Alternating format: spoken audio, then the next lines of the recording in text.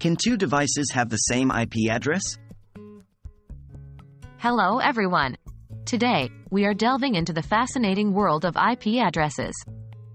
Specifically, we will be addressing the question, can two devices have the same IP address? What is an IP address? An IP address is a unique identifier for a device connected to a network, including the internet.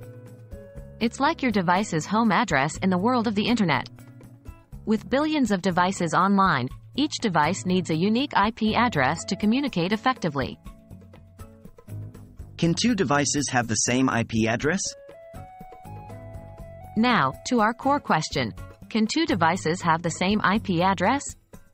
Technically, it's possible, but it's generally not a good idea. If two devices on the same network have the same IP address, it's known as an IP conflict.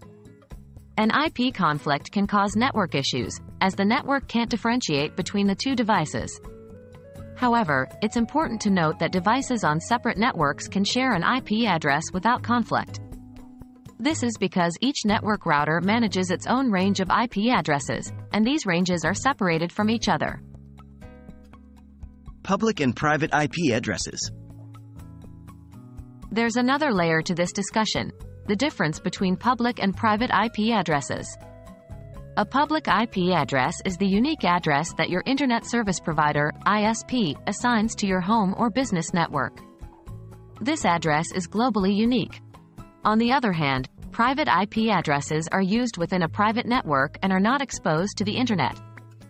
Many devices within a home or business network will often share the same private IP address, such as 192.168.1.1, without conflict. This is made possible through a process called Network Address Translation, NAT, which your router uses to route traffic properly between the internet and devices on your private network. So, to wrap up, two devices can technically have the same IP address, but it can lead to problems if they're on the same network. On separate networks, or with a distinction between public and private IP addresses, sharing can occur without issues. We hope this video helped you understand the concept of IP addresses a little better. Remember, every device needs its unique identifier to navigate the world of the internet effectively. Happy surfing!